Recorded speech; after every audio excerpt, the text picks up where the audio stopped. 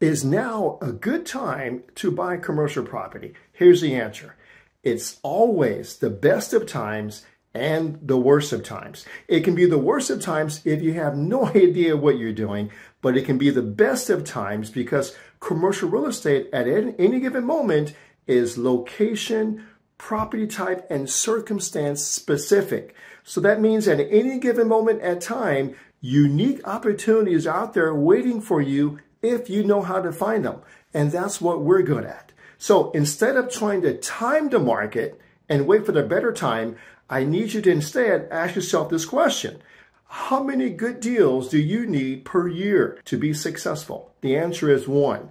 One good commercial deal can dramatically impact your financial life forever. To learn more, text me, text Peter at 833 942 4516.